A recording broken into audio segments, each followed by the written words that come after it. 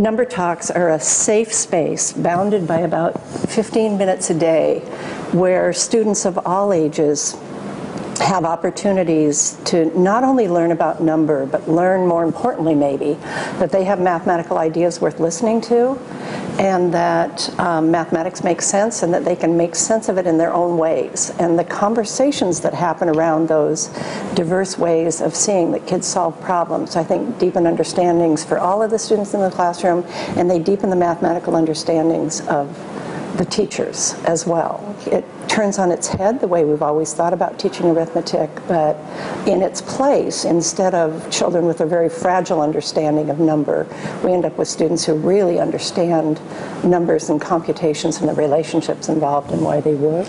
I first realized how important number talks could be for them.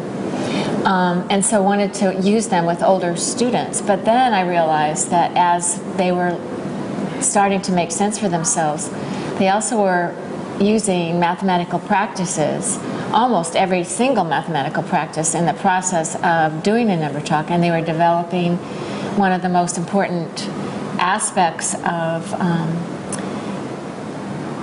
of being powerful mathematically by starting to take on the agency the for their own learning. The baggage that kids bring when they're older of not being good at math, not feeling good about themselves, um, vanishes when they all they have to do is figure out what they see, and then through that, looking at those, the different ways people see, they realize that people have different ways of thinking about math, and they learn to explain their reasoning um, in a very safe setting.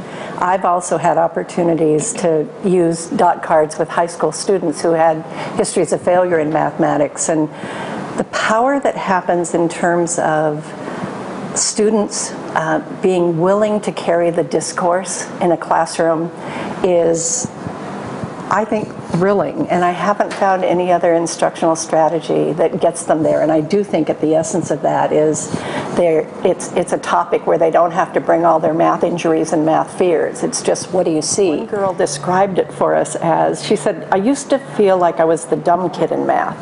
Everybody was getting things that I wasn't getting. And I learned through this that I really can see things in math my own way, and that's okay. And in seeing things my own way, I realized I can do math, and sometimes I even get things before other people around me. So the payoff is just comes in so many different ways to students and I think to teachers. It brings a joy back into teaching.